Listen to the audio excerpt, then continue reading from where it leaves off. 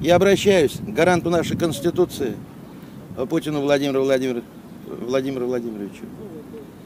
Владимир Владимирович, я обращаюсь к вам как представитель власти в Республике Башкортостан от имени тех людей, которые незаконно обижены, не обижены, да, ограблены этой правоохранительной незаконной властью, которая существует в Республике Башкортостан.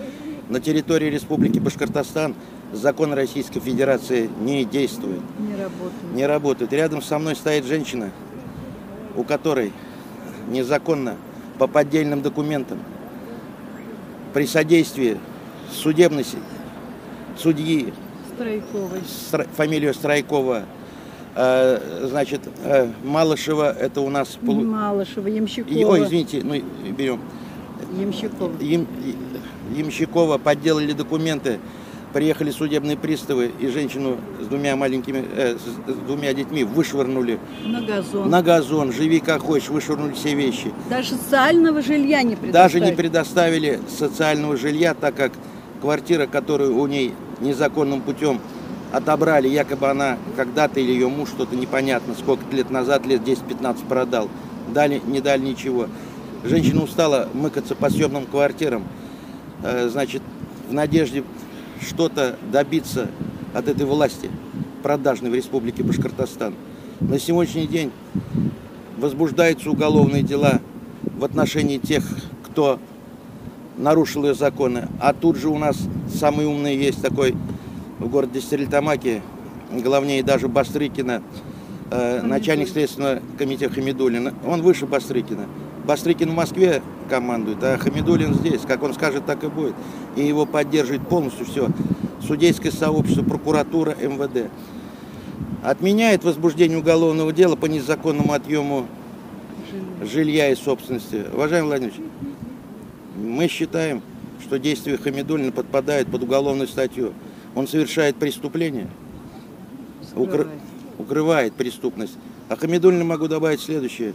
По закону Хамидулина Петрова, Хамидулин прокурор, а, Хамидулин это начальник следственного отец, а, а Петров это прокурор города Стерлитамака. В городе Стерлитамак, ну как мне подтвердилось и вообще по всей Башкирии, э, законы Российской Федерации не действуют.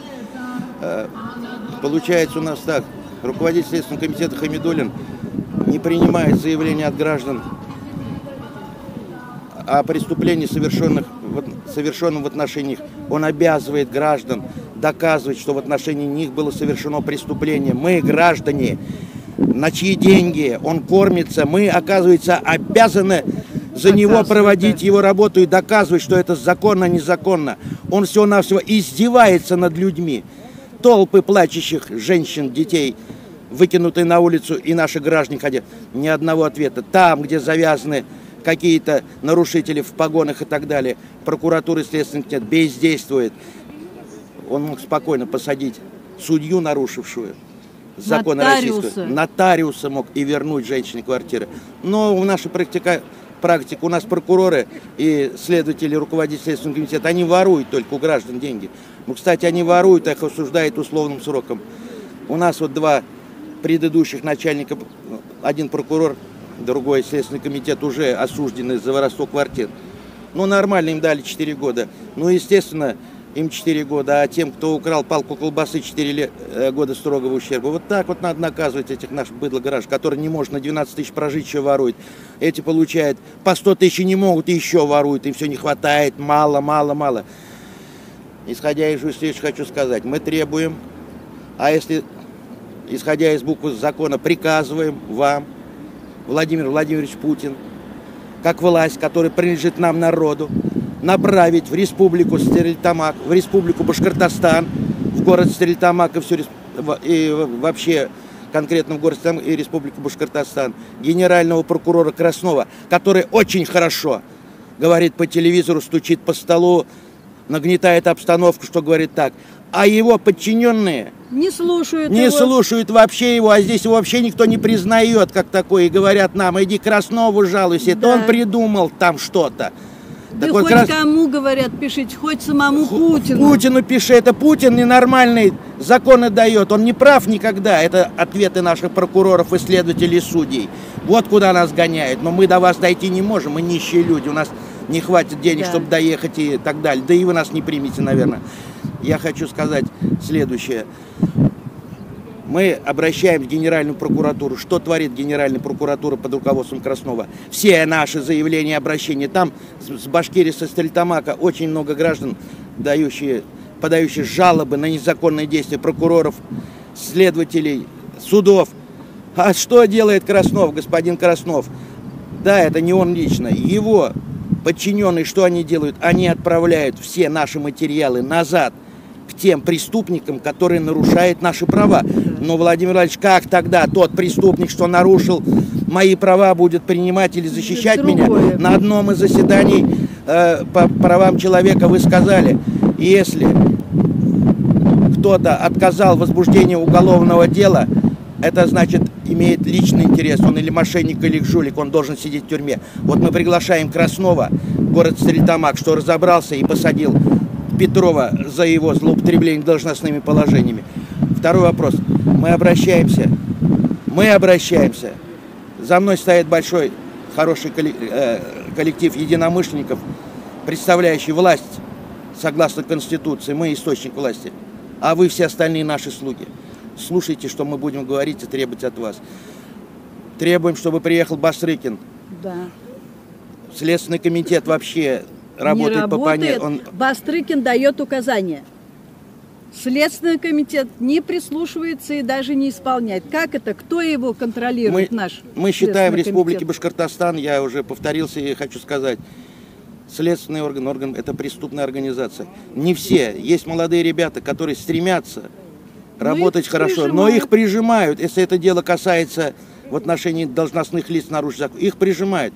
Ребята, работающие в следственных органах Республики Башкортостан, молодые, достойные, не могут ничего сделать с этими начальниками-пенсионерами. Ничего не могут Их делать. прижимают, и им приходится уходить. а увольняют, создают такие условия, чтобы они не работали. А мразь органов остается.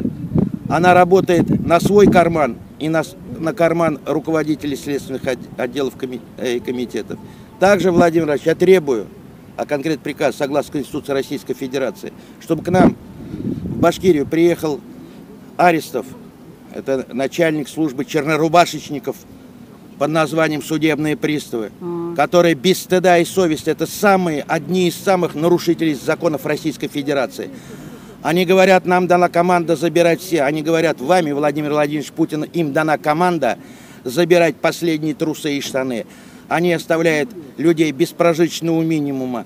Это люди зомби, приходящие ребята вроде нормальные, 2-3 месяца нормально убегают, остаются, ну, больные люди, будем говорить. Сегодня судебные приставы имеют право избивать граждан, оскорблять граждан, отнимать последние крохи. Они считают людей, натурально забыдло. В городе Стерлитамаке под руководством Черномырдина у нас есть такой следственный отдел.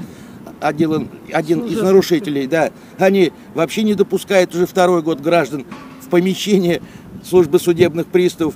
И люди как, не на, ну как сказать, на коленях должны что ли к нему зайти и так далее. Стоят под дождем, под снегом, под ветром, ждут своей очереди. А чернорубашечники орут на них, выкидывают и вытаскивают. Это закон? Это что, закон, что ли? Мы для этого, что ли, вас выбирали, чтобы вы над нами издевались? Еще один из вариантов, я уже неоднократно говорил. Это мы первоначально, как сказать, сказали. Тех граждан, представляющих власть в Российской Федерации, гораздо больше, которых ограбили, унизили и обидели люди в погонах. Ну, хочу сказать еще об одном. Не будьте глухо слепонемыми. Мы видели ваше выступление, когда вы отвечали гражданам. Что-то как-то резко поменялось. За один день школу построили там, завтра газ проведут, все. Так не надо, мы это построим за два года. Если вы поможете нам посадить тех преступников, которые мешают нам, гражданам России, хорошо жить. Они живут хорошо. А мы живем, мы не живем, мы существуем. Мы, большинство, мы приговоренные вашим режимом, как сказать, не, не вашим режимом, а теми условиями, которые соз, созданы здесь для людей, мы приговорены к смерти. Мы к смерти приговорим, мы здесь никто. Нас можно избить, нас можно посадить, нас можно запугать. За что, неизвестно. Хочу обратиться ко всем, кто нас слышит. Просим вас, наше выступление, фамилия моя Люст Владимир Викторович, растиражировать, передать тем, кто хорошо владеет техникой передачи видео, передать на канал Караулова и на все остальные каналы. Обращаясь к гражданину Пескову, он наверняка слушает все эти вещи, он является советником. Господин Песков, у которого на руке часы за 30 миллионов, на которые можно было бы купить 30 квартир для детей после интерната, как сказать, лишенных, ну, без родителей и так далее, или построить там какие-то пансионаты уже за это время, что-то такое. Ну, в связи с принятым законом э, Единой России, предлагаю всем дальше называть гражданин Песков, у которого жена гражданка Соединенных Штатов Америки и дети граждане Соединенных Штатов Америки. Ну, это, чтобы ясно было, какой Песков, а то он скажет, не обратились, я уже часы продал, у меня уже не за 30 миллионов, за 150, но их прячу в чулане. И живу я не за счет зарплаты, получаемой от нас, от народа, от государства. Меня жена кормит. А я подкаблучник, меня жена кормит. А почему я хотел вам обратиться с таким вниманием? Мы же сейчас все говорим, у нас 24 или там 35 организаций признаны как иностранные агенты. Предлагаю всем гражданам Российской Федерации, когда мы обращаемся к какому-то чиновнику городского уровня, муниципального и так далее, и так далее, говорить полностью. Вот, например, обращаемся мы, например, бывший Фетисов, министр спорта, когда он был, мы должны обратиться так. Уважаемый министр спорта Фетисов, гражданин Соединенных Штатов Америки, почему получается так, что Соединенные Штаты нам враги, а они ваши друзья? я не знаю, вы там живете. А ради кого вы здесь работаете? Могу обратиться ко многим э, ведущим зомбоящика, которые прошли стажировку в Америке, но их вы, выкинули оттуда, потому что у них ума, как у муравья в коленке, будем говорить. Они сегодня здесь, на этой пропаганде, грабя наш народ, зарабатывают миллионы и приносят раздрай в наше общество, нагнетая одну нацию на другую. Они лбами сталкивают ну, граждан разной национальности, оскорбляет лидеров других государств, нагло подрывает авторитет Владимира Владимировича Путина, говоря такие вещи. Я господину Пескову не закончил. Пришлите к нам, пожалуйста, комиссию под руководством прокурора Краснова, Басрыкина, Арестова. Можно еще министра сельского хозяйства. Кстати, который Владимир Владимирович вас так обманывает, что вообще дико или считать не могут, или умышленно. Россия никогда не производила то, что сегодня вам поют в уши ваши подчиненные. Башкирия никогда не производила, это есть обман. Вы хорошо сказали, 30 миллиардов получили сельчане. Да, да сельчане последний сухарь доедают, тоже получил 30 миллиардов долларов. Спасибо за внимание, ждем вашего ответа, можем дождаться его по почте, по телефону. Так, требуем, требуем, чтобы наше заявление вы приняли как наше личное мнение, не применяли к нам мер физического воздействия, дали команду прокуратуре, следственным органам на местах, чтобы нас не трогали за клевету. А если у них есть доводы, что мы сказали что-то неправильно, что-либо, пусть обращается в суд. У меня лично есть подтверждающие документы того, что в республике Башкортостан это судебные документы, судебные, не просто, не Васька сказал, не Колька. Законы Российской Федерации. Спасибо большое.